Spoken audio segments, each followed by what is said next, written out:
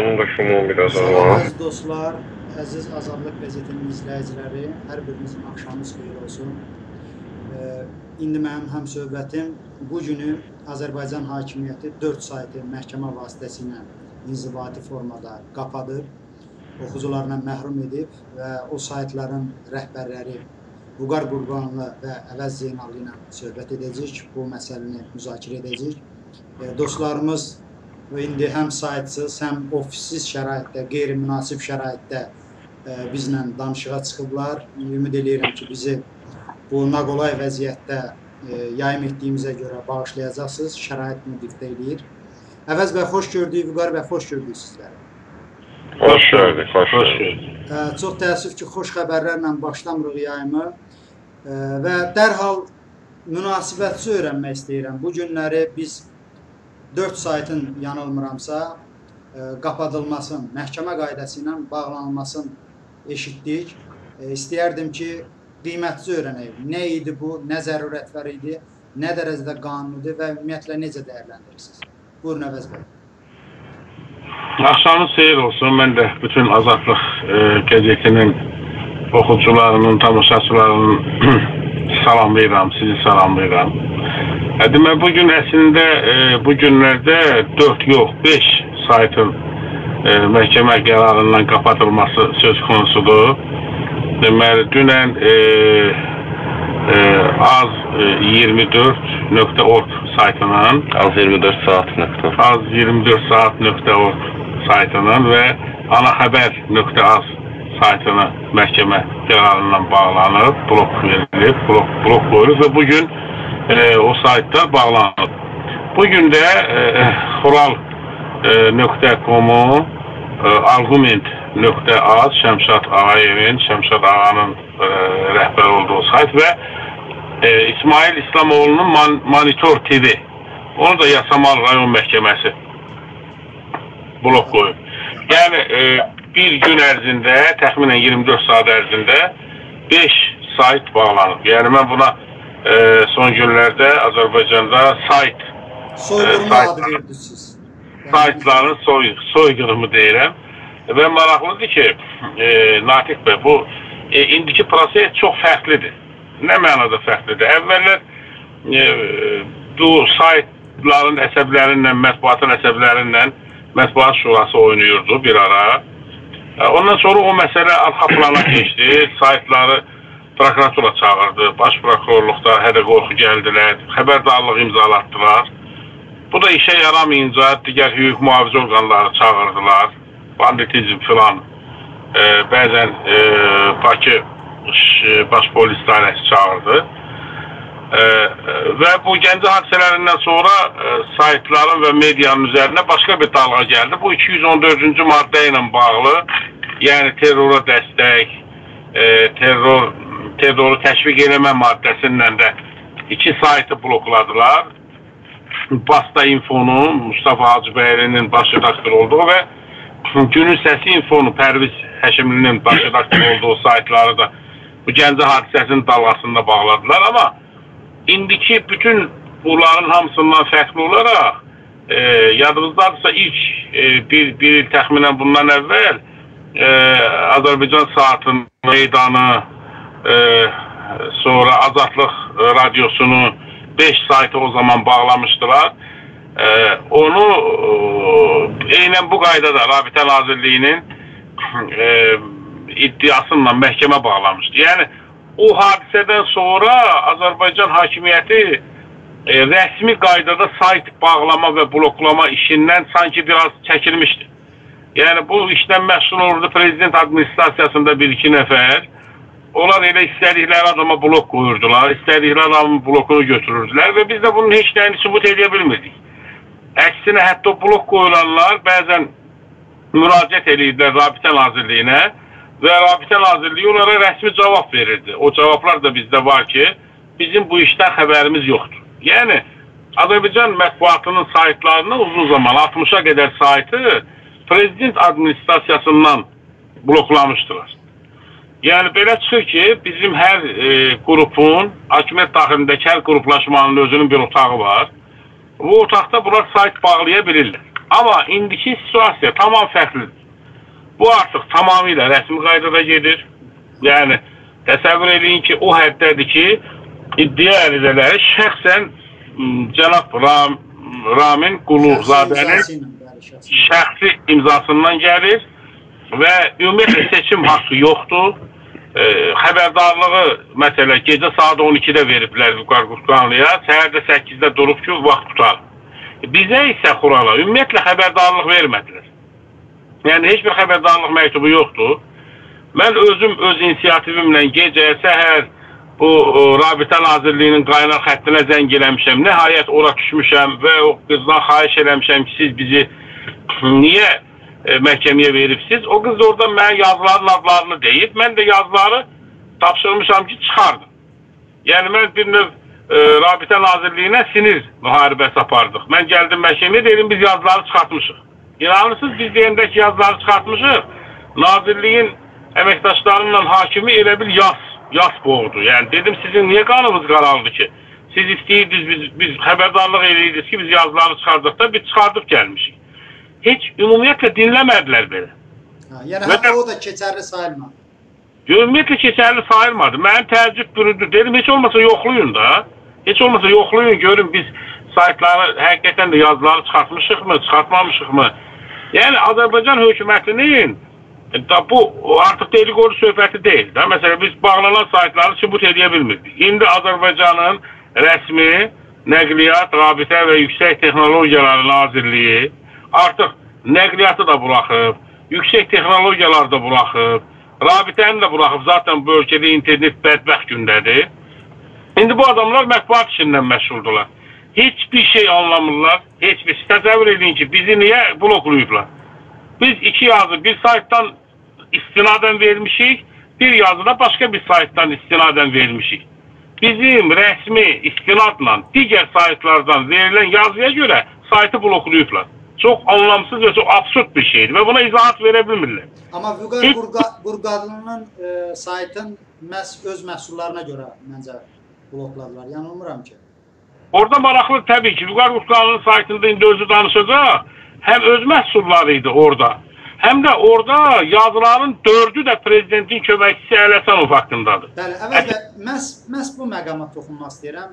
E, sən yaxşı ekskurs elədin əvvəlki bağlanma ənənələrinə. Məsələn, Gəncə məsələlərində dövlət təhlükəsizliyinin əsas gətirildiyi iki sayta qarşı, eləcə də Azadlıq və e, o zaman Meydan TV və Azadlıq radiosuna qarşı da dövlət təhlükəsizliyi bir bəhanə gətirilmişdi.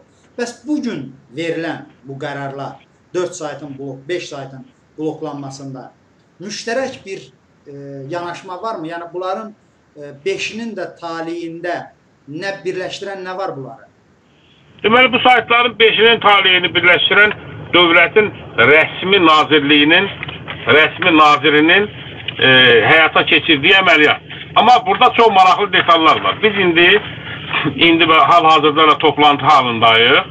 Biz çox böyük mətbuat konferansları keçirib Avropa Şurasıdır, Avropa Parlamentidir, Ombudsmandır, Konstitusiya Məhkəməsidir, ölkə rəhbərliyidir və s. və ilaxır. Bütün bunların hamısına biz e, beynəlxalq bu internet təşkilatlarıdır filan da bunların hamısına domenlərdir. Onlara müraciət edəcəyik bu hadisələrlə bağlı. Çünki bu artıq rəsmi ortada olan faktdır. Amma maraqlı nədir? İndi bizim özümüzün mülahizələrimiz var. Biz bunu da biz mülahizələrimizdə yəqin ki, irəlki zamanlarda da deyəcəyik. Amma bu hadisələrdə çox maraqlıdır. Hadisə başlayıb Vüqar Qurtqanlının saytından. Və hadisədə 4 yazının 4-ü də Ələsənovun haqqındadır. Bəli. 4 yazının 4-ü də Ələsənovun haqqındadır və qəzetin saytın məhsuludur. Sanki Əli Həsənovu hədəfə çıxartmaq və Əli Həsənovun yazılarını hədəfə çıxardan kimsə, bir qrup, bir əl, ondan sonra düşünür ki, yox, e, bu lap ağoldur. Burada Əli Həsənovun 4 dənə Əli Həsənov oldu, bunu paylaşdırın. Təsəvvür edin ki, İzi itirmək, bir növ izi itirməkdən. izi, burada iz itirib. Yəni burada dəqiq hakimiyyət daxili qruplaşmaların oyunu görünür, dəqiq gözlə görünür və burada bizdən güman ki, bir vasitə kimi istifadə eləməyə cəhd olunur bizim saytlardan. 4 Əli Həsənovun yazısından sonra fikir verin. e, Şəmşad ağanın saytında bugün bloklanma səbəbi olan iki yazının ikisini də Xural da verib. Mən də vermişəm. Bəli. Şəmşad ağanın saytından O hansı götürmüşəm. icra başçısı ilə bağlı olan e, şikayət idi yanında? O Lerikin, Leriklə bir də Laçınla bağlı yazdı da orada üç kəndin su problemi var. Üç kəndin suyunu başqa bir kəndə aparır. Burada da bu Azərsunun prezidentinin rolu var. Qorxmaz Hüseynovdur, Həsənovdur. Deməli, söhbət nədən gedir? Həmin bu Şəmşad ağanın y- saytının bloklanma səbəbi olan yazıları Xural verib. Mən də vermişəm, amma mənə heç də demirlər. O yazıya görə onu bloklayırlar. Amma mənə heç nə demirlər. Mənə tamam başqa bir yazılar gəlir. Hər üç yazı, Turanda gedən yazı, deyək ki, Az Politikada gedən yazı, Azərbaycan Reallığı.com-da gedən yazı, hamısı da başqa-başqa saytlardır və istinaddır. Mən bugün göstərirəm.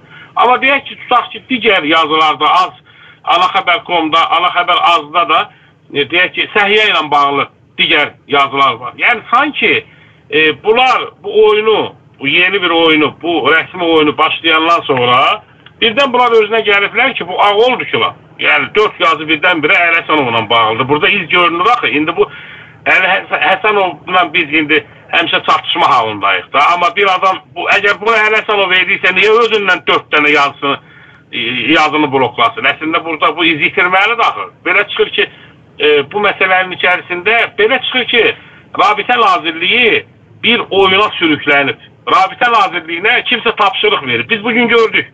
Biz bugün tapşırıqları gördük. Təsəvvür eləyin ki, mən deyirəm ki, qardaş, mənə 4 dənə yazıya görə məni bloklamaq istəmirsiniz? Bəli. Mənə birincisi niyə göndərməyibsiz xəbərdarlıq məktubu? İkincisi, siz xəbərdarlıq məktubu göndərməyinizə baxmayaraq mən bunu araşdırmışam. Dörd yazın dördünü də çıxartmışam. Siz məni nə axla bloklaya bilərsiniz? Yox, illah da siz bloklanmalısınız. Deməli, Rabitə Nazirliyinə elə tapşırıq verilib ki və saytların adları elə verilib ki, bu 4 sayt, 5 sayt dərhal bloklanmalıdır. Bu da ortada siyasi bir niyyətin, siyasi bir oyunun, siyasi bir iradənin olduğunu göstərir. Yəni mən bu gün də dedim, məhkəmədə də hakimə dedim. Dedim siz nəyə hazırlaşırsınız? Hara tələsirsiniz? Nə olub? Nə iş görəcəksiniz? Yəni harda bir işıq ucu gələcək, bir bir balaca deşik var. Tutaq ki, bir mətbuat azadlığı və yaxud da ki, bir mətbu nəsə bir fəaliyyət var. Siz onu niyə bağlamağa çalışırsınız? Bu nə belə apar topar, bu nə həyəcan? Yaxşı qardaş, harda görülüb ki, siz mən xəbərdarlıq elədiyiniz yazıları mən çıxartmağa razı oluramsa, siz məni niyə cəzalandırırsınız? Və ya qanunda açıq şəkildə deyilsə ki, həmin informasiyalara blok qoyula bilər. Siz niyə bütün sayta blok qoyursunuz? Bu Və- kimin və- belə və iradə? Bu yazıların təksibini tələb eləmək olardı, xəbərdarlıq etmək olardı. Yox, ümumiyyətlə baxın, ortada hansısa tutaq ki, yazılar gedib, düzdürmü? Bu yazılar kimdənsə bəhs eləyir də. İndi bunlar deyir yalandır, təhqirdir. Burada yalan təhqir varsa, böhtan varsa, haqqında bəhs olunan adam qalıb kənarda. Belə çıxır ki, Rabitə Nazirliyi nəqliyyatı buraxıb, Rabitəni buraxıb, artıq mətbuat işlərindən məşğul. O zaman mətbuat şurası nəyimizə lazımdır? O zaman siz mətbuat şurasının səlahiyyətlərini də verin Rabitə Nazirliyinə. Yəni bizim içimiz düzəlsin də. Və ümumiyyətlə bu adamların heç bir anlayışı yox idi. Baxın, əvvəlki məsələlərdə yenə də bəzi məsələlər var idi ki, ona bir qılıfına bir uydururdular da. Amma indi Xuralda məni bloklayıblar kimin yazısına görə? Turanın yazısına görə. Mehman Əliyev də gəlib oturub orada. Özü də məhkəmədə idi. Hamı çaşbaş və gülməli bir halda isterik bir vəziyyətdə qalıb. Və Allah belə Vüqar Qurtdanlının saytını götürək. Oxuyublar, kimin yazıb yazı gedib, düzdür? Qardaş, Əli Həsənovun özü var, aparatı var, şəxsi ləyaqəti var. Əli Həsənov istəyərsə, verər məhkəməyə, məhkəmədə də 147-148 ilə cəzalandırar və ya məsələ araşdırılar. Yəni siz götürün, nazirliyin, deyək ki, Rabitə Nazirliyinin 2-3 özünü bilməz adamı gəlsin, elə saytdan qabağına çıxan yazını götürsün. Sonra da bunu verin nazirin imzasıyla məhkəməyə, məhkəmədə bloklasın. Belə bir abırçılıq olarmı? Mən orada soruşdum. Ee, Rabitə Nazirliyinin əməkdaşından soruşdum. Bir gənc qız göndərmişdilər. O da yazıq elə quruyub qalıb, heç bilmir nədən söhbət gedir. Ee, ki sizin ekspertiniz varmı? Siz hansı qənaətə gəldiniz ki, bu yazılar təhqirdir? Siz nə bilirsiniz ki, bu yalandır? Siz burada ümumiyyətlə bir ifadə yox. Təsəvvür edin, mən bir yazı status yazmışam, onu yazı edib vermişdilər ki, Mehman Hüseynovun anası ağırdır. Ağır xəstədir, amma Mehman Hüseynovu buraxmırlar. Bu yazıya yazıblar ki, burada şəhər böhtan var, təhqir var. Deyirəm, axı Mehman Hüseynovun anası xəstədir. Mən 3 gün əvvəl yazmışam, rəhmətli, rəhmətə gedəndən 3 gün əvvəl yazmışam. Axı Mehman Hüseynovun anası xəstədir yazısında yalan harda ola bilər? Necə ola bilər? İnsan artıq torpağa bastırmışıq.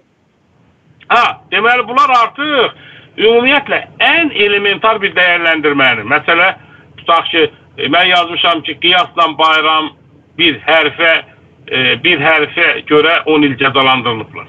İlqar Məmmədov 6 ildir içəridə həbsdə çürüdülür. İndi bunlar yazırlar ki, bu yalandır, böhtandır şəx qardaş. Bu yalan haranın yalanıdır? Kimədir bu? Siz kimin hüququnu qoruyursunuz? Ümumiyyətlə Rabitə Nazirliyi hardan çıxdı? Siz kiber cinayətlərlə məşğul olan idarə yaradırsınız. Gedin ki- kiber cinayətlərlə məşğul olun da siz bu ölkəyə internet vermirsiniz. Bayaq da dedim Nazirliyin təmsilçisinə. Dedim siz ümumiyyətlə internet vermirsiniz. Biz sizə pul ödəyirik. Siz onun əvəzində bizə internet də vermirsiniz. Gedin siz öz sahənizlə məşğul olun. Siz hardan gəldiniz çıxdınız belə?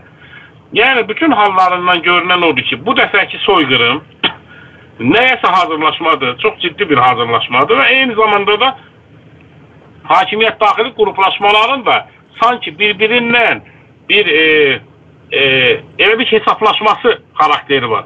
Əvəz bəy, Həm mən, bu var- mən, mən icazə verin elə bu məqamla bağlı Vüqara sual verim. Vüqar, mən Buyur. sən e, yazıları izləyirdim və bir zarafat eləmişdin bu Əli Həsənovla bağlı yazdıqlarında. Sən onun vurulmasını proqnozlaşdırırdın, əlindən səlahiyyətlərinin alınması, alınacağı barədə şərhlər edirdin, amma elə oldu ki, o yazıları əsas tutub e, sənin öz saytını blokladılar və mən də bir qeyd yazdım ki, deyəsən heç də sən yazan kimi deyir Əli Həsənovun e, qüdrəti hələ də yerindədir, amma sən növbəti şərhin belə oldu ki, yox deyəsən burada başqa bir oyun gedir. Əks bir qruplaşma, yəni Paşayev qruplaşmaları deyəsən bu sahəyə əl qoyur. Bu barədə sənin fikirləri almaq istəyirəm ki, doğrudan da bu saytların bloklanmasında hakimiyyət daxili qrupların hansı maraqları rol oynayır və məqsəd gələcək planlar nədir? Əvvəla axşamın xeyir bəy. Belə deyim. Vəziyyət elə bir yerdə ki, Natiq bəy, situasiya elə gətirib ki, konkret fikir yürütmək mümkün deyil.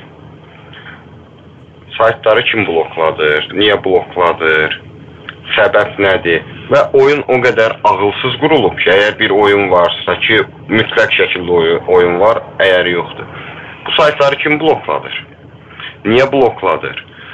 Səbəb nədir? Bunu artıq iki ki, belə deyim, iki sutqa olur mənim fikirləşdiyim. Məsələ nədir? Mən əslində biraz e, xırda bir detalın üstündə durum, amma o həm də xırda deyil. Ayın 6-sı gecə saat 00:15-də bizə xəbərdarlıq daxil olub e-mail vasitəsilə.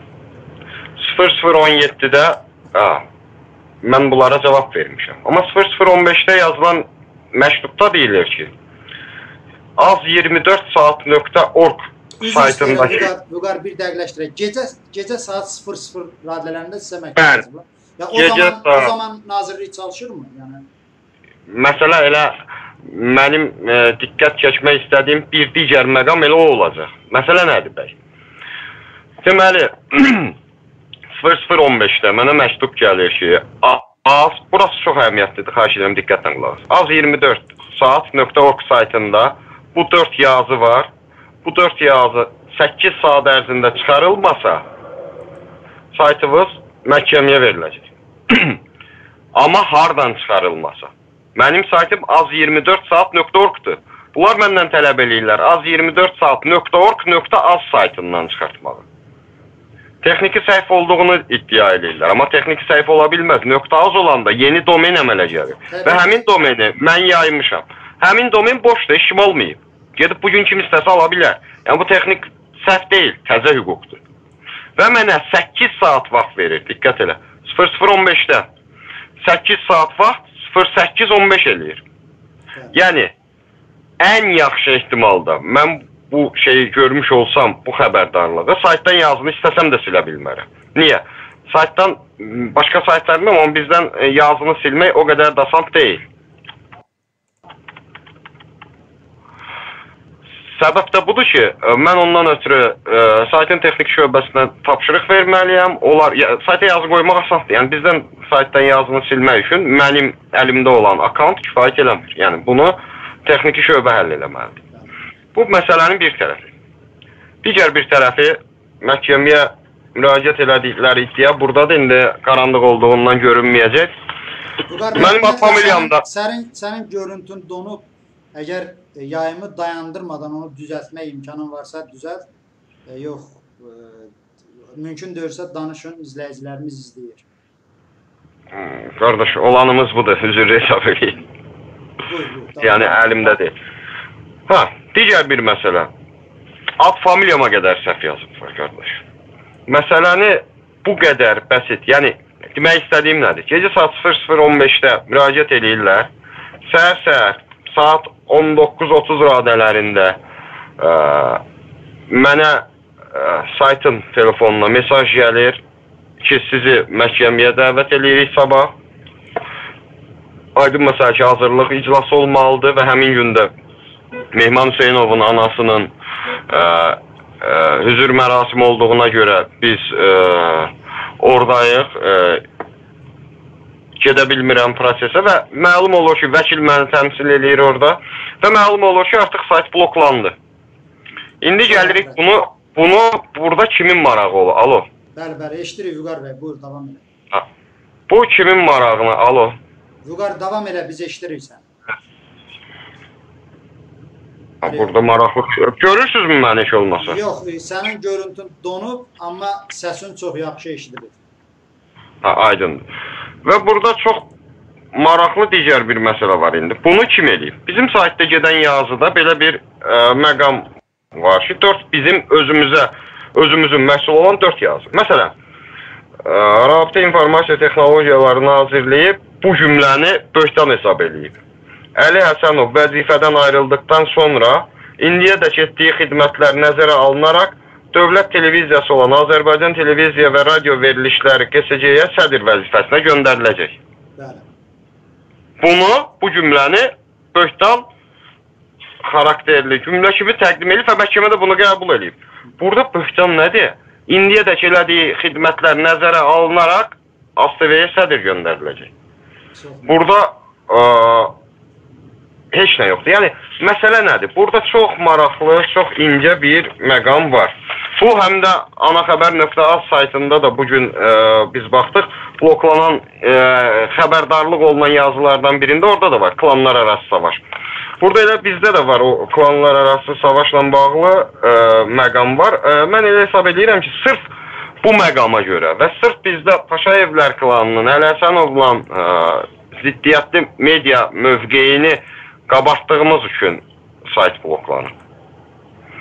Və heç bir halda hesab eləmirəm ki, burada hansısa konkret fikir yürütmək mümkündür ki, bunu Əli Həsənov yoxsa onunla mübarizə aparan, yəni açıq aşkar deyək, Paşayevlər ə, klanı həyata keçirir. Bunu kimin ə, həyata keçirdiyini demək bu tapmaca kimi bir şeydir. Məncə hesab eləyirəm ki, daha çox bunun üstünə getmək yox, bunu zaman ə, ərzində onsuz da sular durulacaq. Yəqin ki, bundan sonrakı dalğada həbslər olacaq, yəqin xəbərdarlıqlar olacaq və o həbslərin, xəbərdarlıqların sayəsində biz tapmış olacağıq ki, əslində mətbuata qarşı bu boyda düşmənçiliyi kim eləyir?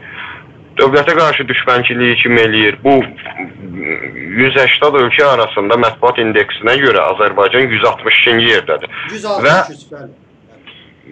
Mən bildiyim 162 də olsun 163. Bəli. Ha, bu o qədər də ürək açan mənzərə deyil və bu ə, mənzərədən ən çox narahat olan da elə əslində dövləti idarə elədiyini iddia edən şəxslər olmalıdır.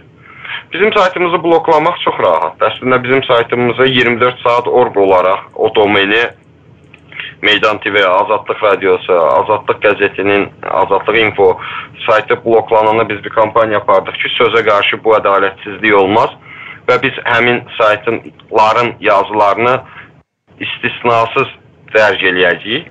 Onu elədikdə ondan elə bir həftə sonra heç bir məhkəmə qərarı olmadan 24 saat orq saytı 2016-cı il aprel ayının 5-də bloklandı Azərbaycan ərazisində. Uzun müddət VPN, digər ə, köməkçi ə, domenlərlə, subdomenlərlə qismən girişi təmin elədik. Təsəvvür edin, gündə 30 min girişi olan sayta 1000 nəfər giriş olanda artıq uğur hesab eləyirdik. Yeri gəlmişkən onu deyim, ötən həftə biz ə, az24saat.org domenini qərar verdik ki, saytın ana domen eləyək. Və biz onu ana domen elədikdən dərhal sonra saytımıza bloklama gəldi. Məhkəmə qərarı ilə bloklama gəldi. Bütün bunları deyəndən sonra, yəni əslində sizin vermiş olduğunuz suala da cavab vermişdim ki, bunu kimin elədiyini hal-hazırda iddia eləmək və yaxud tapmaq ə, biraz ə, çətindir bu sualın cavabını vermək. Mən Əli Həsənov cinahının belə bir addım atdığına inanmıram. Ona görə ki, 4 yazının 4-ü də Əli Həsənovun adı ilə bağlıdır. O zaman Əli Həsənov öz özünə quyu qazmış kimi görünür. Bu ağla batan deyil. Buyurun bəy. Bu yayımın gedişində e, tanınmış media eksperti Ələskər Əhmədoğlu bir maraqlı şərh yazıb. Mən o şərhi oxuyuram və mümkünsə sən bu görüntü məsələləri də bu müddətdə həll elə. Ələskər bəy bildirir ki, bu saytları böhtan səbəbindən e, bu gün saytları böhtan səbəbindən bloklanan saytların rəhbərləri ləngimədən Nəqliyyat, e, Nəqliyyat Rabitə və Texnologiyalar Nazirliyinin ərizəni imzalayan şəxsini məhkəmələrdə qərar verən hakimlərə qarşı Cinayət Məcəlləsinin 147-ci maddəsi ilə xüsusi ittiham qaydasında onlara qarşı iddia qaldırmalıdır. Çünki Konstitusiyanın 63-cü maddəsini hər iki tərəf pozub və bu saytların rəhbərləri böhtan atan tərəf elan edilib, saytlar bloklanır. Bəy, burada maraqlı bir məqamı mən ə, e, çox üzr istəyirəm, sözünüzü kəsirəm. Məskər bəyə də salamımız olsun. Amma burada e, bir başqa hüquq var. Hal-hazırda Azərbaycan Respublikasının ə, qanunvericiliyinə görə Nəqliyyat, Rabitə Yüksək Texnologiyalar Nazirliyi böhtan hesab elədiyi cümləni, bir cümlə, bir sözü böhtan hesab eləyə bilər. Qanun bunlara bu icazəni verir. Bu qanunun özü qanunsuzluqdur, amma bu qurumun əlində bu səlahiyyət var və onlar bu səlahiyyətdən istifadə edirlər. Yəni mən Ələsgər bəy nə demək istədiyini yaxşı başa düşürəm ki, yəni əgər mənə deyirsənsə ki, bu cümlə böhtandır, onun özü cinayət xarakterlidir. Amma ə, bu qurumun ə, əlinə ə, əlində olan əsas bunu eləməyə ona imkan verir. Bu o demək deyil ki, biz məhkəməyə müraciət eləməyəcəyik. Həm Rabitə Nazirliyini, həm ə, bu ümumiyyətlə prosesdə əli olduğunu düşündüyümüz kimlər ki var və qanunla kimlərin üzə, ə, e, üzərində məsuliyyət varsa, əlbəttə həmin şəxslərin hər birinə qarşı məhkəmə davamız olacaq. Azərbaycanda inanmıram ki, bu məsələyə biz hansısa bir ə, e, çözüm gətirə bilək, bizim sözümüzü eşitsinlər və yaxud ə, e, biz burada uğur əldə eləyək, amma əlbəttə ki, Berlində hakimlər var yəqin ki bir gün bizim də yəni çox normal bir şey deyim də bu bu savaşda bizim şəxsən mənim qazandığım xüsusi bir şey yoxdur. Mənim istədiyim nədir? Azərbaycanda azad söz olsun.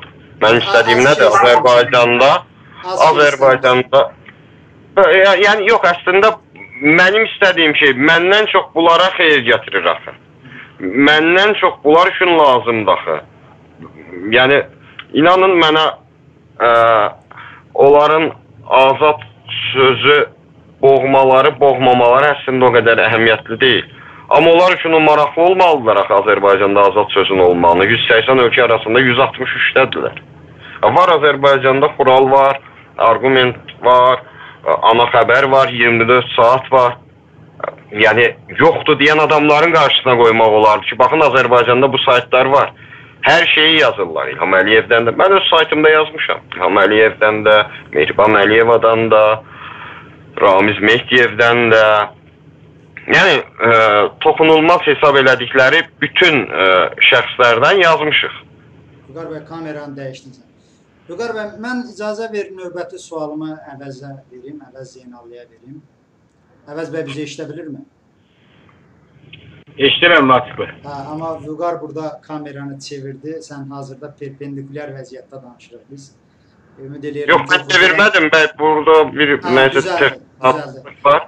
Gəldi. Ümid eləyirəm oxucular anlayışla yanılacaq, e, yanaşacaq əziz izləyicilər. Bir daha xəbər xəbər verim sizə ki, bu gün 2 gün ərzində Azərbaycanda 5 e, azad sayt, hakimiyyətin nəzarətində olmayan sayt bloklanıb məhkəmə qaydasında və biz dostlarımız Vüqar Qurbanlı və Əvəz Zeynallı ilə bu hadisənin niyə baş verdiyini və nələrə hesablandığını müzakirə edirik. Əvəz bəy, yəqin məndən razı olarsan ki, istər 5 il, istər 10 il bundan əvvələ müqayisədə hakimiyyət media sahəsində güclüdür. Yəni bu zorakı gücdür, amma media institutlarını sıradan çıxardı. Çox sayda jurnalistləri ələ alıb, sındırıb, ölkədən qovub, ə, demək olar çap mediası yox yerinə ə, gətirilib. Belə bir halda niyə görə bunlar az saylı bu media quruluşlarına da dözə bilmirlər? Hansı bir narahatçılıq var ki, bunlar lap son nöqtəyə qədər getmək istəyirlər? Və Vüqarın dediyi kimi olmazdımı ki, bir illüziya, bir şəraiti yaratsınlar, bir görüntü naminə də desinlər ki, həş azadlıq, meydan və s. bağlanıb bunlar antimilli fəaliyyətlə məşğuldur, amma budur. Başqa saytlarımız fəaliyyət göstərir. Niyə hətta bu az saylı qalan nəşrlərə, saytlara da bunlar təhəmmül edə bilmirlər? Deməli bəy, ölkədə vəziyyət o həddə gəlib ki, e, indi bizdə e, nə isə proqnozlaşdırmaq, nəyinsə e, ciddi analizini verməyin özü belə bir riskdir. Yəni mən sizə deyim, yəni ölkədə siz təsəvvür edirsinizmi? Gəncə şəhəri 40 gündür başsızdır. Bakı e, bir neçə aydır başsızdır. E, nazirliklər var boşdur, rayonlar var başsızdır. Yəni ölkənin idarə olunmasında çox ciddi problemlər var. Elə bax bu son bu hadisələrdə də e, biz artıq açıq-aşkar müəyyən klanların və hakimiyyət daxili qrupların açıq savaşını görürük. Yəni bir-birinə torba tikmə var, bir-birini e, zərbə altında qoyma var və bu görünür. E, və maraqlıdır ki, indiyə qədər Azərbaycanda da müəyyən bizim o kənarda dostlarımız da e, o məsələni vurğuluyurdular ki, Azərbaycanda artıq azad media qalmayıb, e, Azərbaycanda artıq hər şey bitib e, və bu hadisə bir daha onu göstərir ki, bu ölkədə, bu torpaqda, Azərbaycanda heç bir şey hələ bitmiş sayılmır. Baxın, biz indi güya ki da, indi Allah qoymasa, iki saytın önəmli, tutaq ki, baş redaktorlarının e, bu vəziyyətinə baxırsınızmı? Bax, biz bu şeyə bənziyirik, bu 16, o 16 iyulda Türkiyədə bu Erdoğan oradan ora girirdi, buradan bura girirdi. Biraz müqayisə bəlkə uğursuz ola bilər. 21-ci əsrdir, ölkəmizə milyardlarla pul gəlib, böyük zərziba, dəbdəbə içindədir Azərbaycan mətbuatı. Bunlar 100 milyonlarla pul ayırıblar Azərbaycan mətbuatına. Budurmu bunun inkişafının son mərhələsi budurmu? Yəni, Azərbaycanda çox maraqlı bir şeydir. İşıq ucu gələn hər bir informasiya məkanını bağlayırlar. Hətta bunlar özlərinin 100 milyon manatdan çox, 100 milyon manatdan çox pul qoyduğu apanı belə bağladılar. Yəni gözünün yaşına baxmadılar. Bu nəyin əlamətidir? Bu o dərəcədə ideoloji boşluq var ki, o da, o dərəcədə hər kəs bir-birindən şübhəlidir ki, heç kimin kitabını o dərəcədə heç kim oxumur ki, bir sözün, bir sözün üstündə bağlandı apa. Yəni deyilən kimi bizə rəsmi versiya dit çöktürəcəyik, yox sarsıdacaq sözünün üstündə bir böyük bir holding bağlandı, 250-300 nəfər də işsiz qaldı. Xural nə eləyib ki? Deyək ki, 24 saat ork nə eləyib ki? Ana xəbər nə eləyib ki? Və yaxud da ki, monitor TV deyilən o İsmail, İsmail İslamoğlu'nun bir saytının ilk e, ilk yazısıydı. Elə bir dənə yazı qoymuşlar eləsən oradan və salam onu da oradan bağladılar. Yəni bu dərəcədə dözümsüzlük ölkədə baş alıb gedir. Mən sizə rəsmən bir şey deyim. Yəni bu gün bizim xeyli söhbətlərimiz oldu. Uşaqlar hətta məni bəzən qınadılar. Yəni insan e, ölkədə bizim fəaliyyətimizə və yaşamımıza imkan verilmir. Yəni rəsmən adamlar deyirlər ki, qardaş, sizə biz bu ölkədə həyat haqqı vermirik. Fəaliyyət haqqı vermirik. Yəni bu bunun tərcüməsi budur. Yəni biz sizə bu həyat haqqını, bu e, deməli yaşama haqqını vermirik. Və ən xırda bir e, informasiya məkanı belə bağlanır. Bu çox önəmlidir. Yəni biz biz gəldi gedərik, biz də xural olmayacaq, olmayacaq. Əvvəl Zeynallı burada olmayacaq xuralda. Mən tutaq yazımı yazıb Facebooka Facebookdan verəcəm, çəkilişimi çəkib YouTube-dan verəcəm.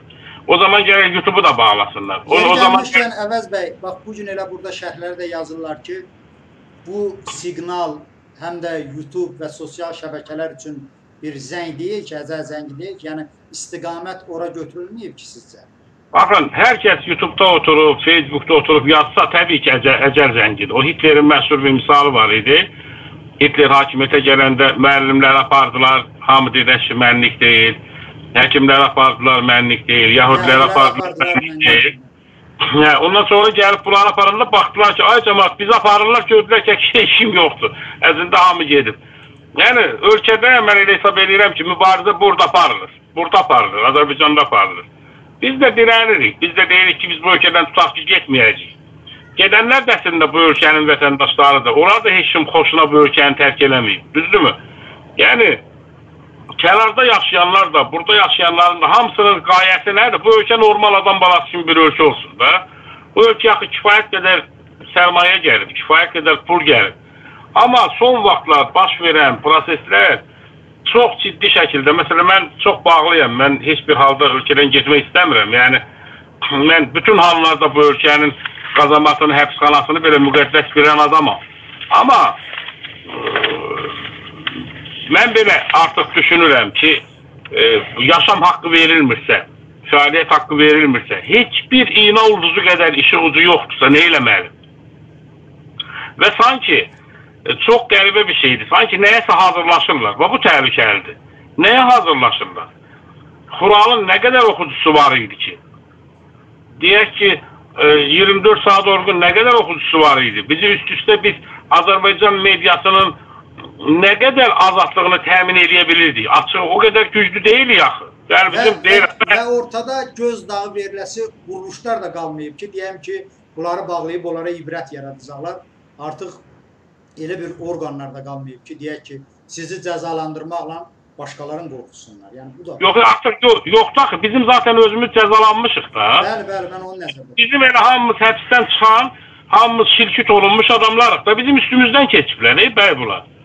Bunlar xuralı gündəlikdə bağlayıblar. Bunlar xuralın əmlakını qazelə doldurub aparıblar. Siz bunu bilirsiniz. Hə. Amma indinin özündə belə Hə.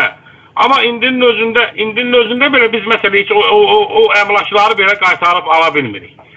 Bütün bu hadisələrin hamısı onu göstərir ki, ölkədə ən xırda bir e, media azadlığına, ən xırda bir e, media müstəqilliyinə belə tahammül yoxdur. Amma yenə də e, çox pessimist olmaq istəmirəm mən də. Bu gün yenə də müzakirə elədik, dostlarla da müzakirə elədik. E, medianın digər nümayəndələri də gəlmişdilər. E, yəni hələ perspektiv var. Bax belə olsa da, yarı qaranlıqda olsa da, bu ölkədə isə mübarizə hələ davam eləyir. Biz e, apellyasiya şikayəti verəcəyik. E, rabitə Nəqliyyat, Rabitə və Yüksək Texnologiyalar Nazirliyini məhkəməyə verəcəyik. Böyük mətbuat konfransı təşkil edəcəyik ölkədə baş verən hadisələr haqqında Ələsgər bəy düz yazdı. Bayaq da çox sağ olsun, dəyərli dəstəyini bizə verir, tövsiyələrini verir. Yəni ölkədə bu e, domenlə bağlı, ölkədə bu problemlərlə bağlı Avropa Şurasından tutmuş, Avropa Məhkəməsindən tutmuş, Avropa Birliyindən tutmuş, beynəlxalq təşkilatlar, ombudsman, hər şey, hər cür mübarizəni bütün hüquqi müstəvidə apar aparacaq ki, Yəni bu belə ola bilməz. Bu ölkə bizim hamımızındır və biz bu ölkədə həm ləyaqətli yaşama hüququna malikik, həm də e, fəaliyyət göstərmə hüququna malikik. Ona görə də gərək hakimiyyət də bu məsələləri fikirləşsin və mən əminəm ki, e, onlar da onlar da bu məsələnin yəni bu bu, bu qədər dərinə getməsində əslində maraqlı olmamalıdırlar. Yəni kimin üstündə qüvvə sanırsınız ki? Biz zaten biz biz zaten o deyilik axı. Yəni siz kimin üstündə qüvvəni Çox kimi... doğrudur. Əvəz bəy, icazə ver mən bir xatırlama verim. E, hər birimiz bunu bilirik.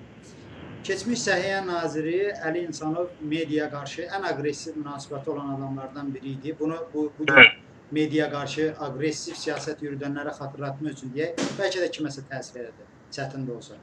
Amma Əli İnsanov məhşər ayağına çə çəkiləndə birinci köməyi mediadan istədi və birinci təşəkkürü də mediaya elədi ki, sağ olun bu məsələləri işıqlandırırsınız obyektiv. Eyni zamanda Əli İnsanovun indi kimsə deyə bilər ki, siyasi iddiası var filan deyir. Amma Naxçıvanın e, MT-nin rəhbəri adını xatırlaya bilmirəm təəssüf ki.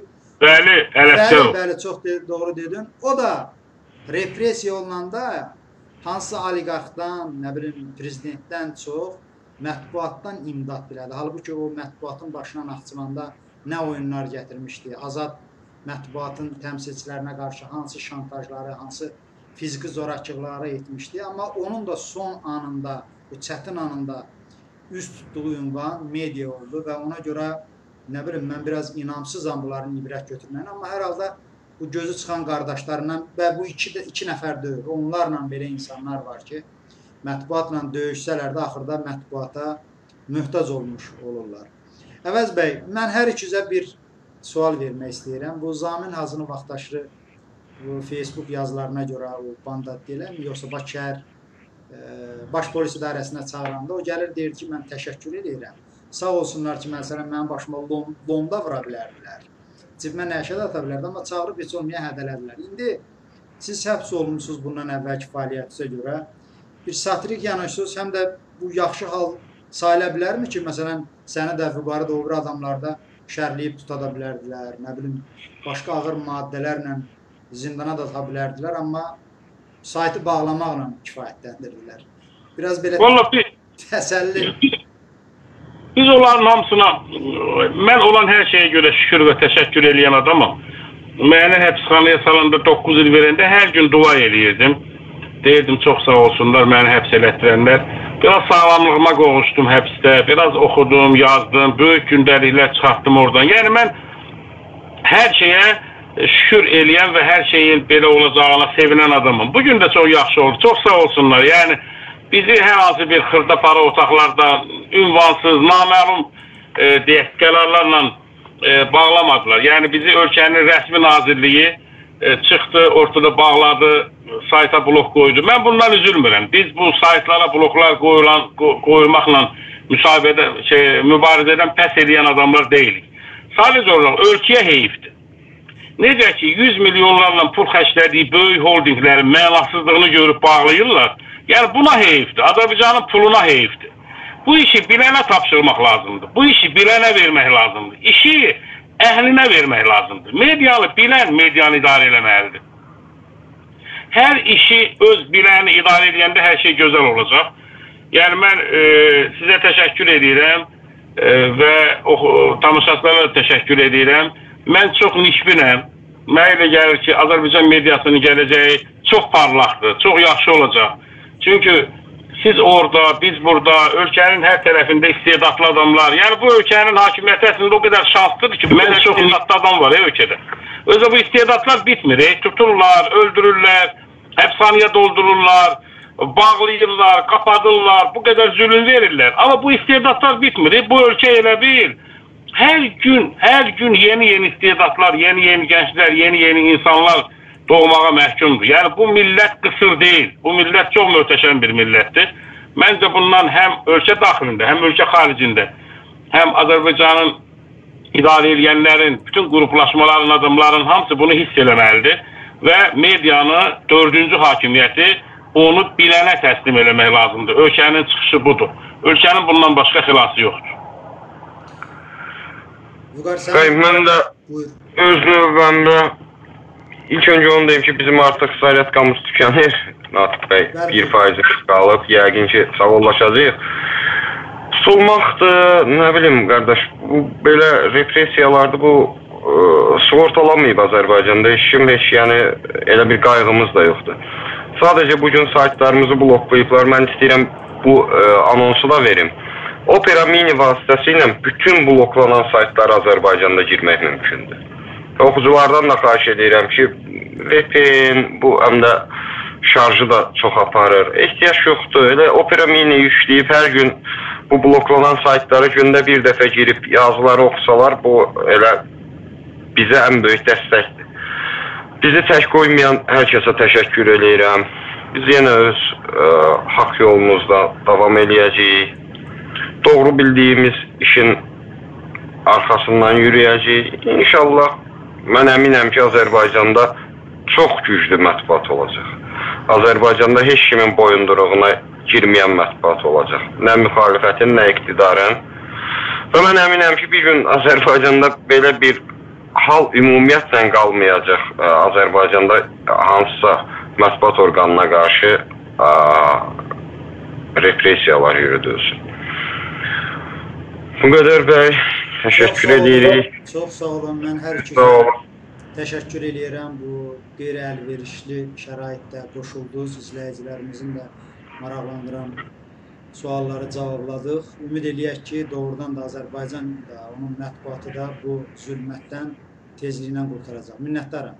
Çox sağ olun. Sağ olun. Sağ ol, sağ ol bəy. Bir